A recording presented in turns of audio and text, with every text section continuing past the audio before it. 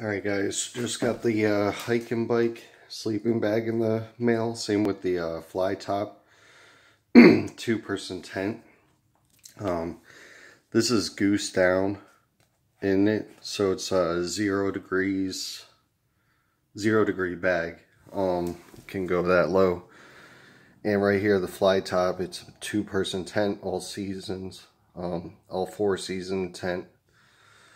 Very great way very good uh, equipment here because that means you got shelter and you got warmth. Um, other than that, I do have a Teton Sports Outfitter 4600. Um, sleeping bag fits in that bottom pocket just fine and then I use these uh, compression straps for the tent and they fit on the bottom pretty well good investment.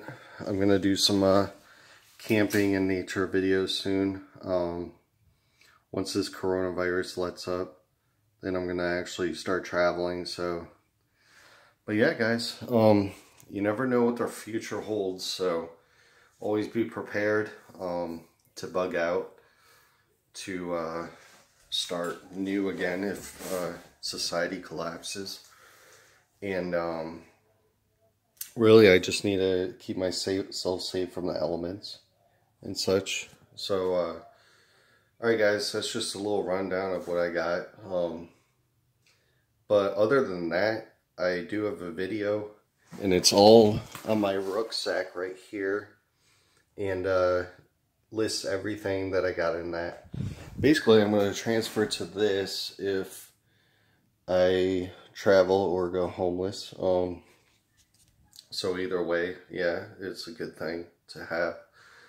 Um, very good equipment.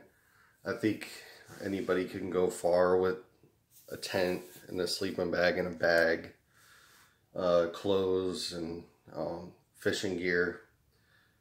What else? Uh, hunting supplies, stuff like that, like machetes, axes, all that good stuff. So, um, but yeah, if I have to spend a couple nights out, then I'll do it, and I'm prepared. Um, doesn't get that cold here in Virginia. It's not like unbearable, but um, I mean, I used to live on the border of Canada in Buffalo, New York, and uh, it gets pretty frigid up there. I'll tell you some. Um, and the snow goes high above you um, every year, almost. So. Alright guys, I'll, I'll catch y'all later. See you on the other side. Peace.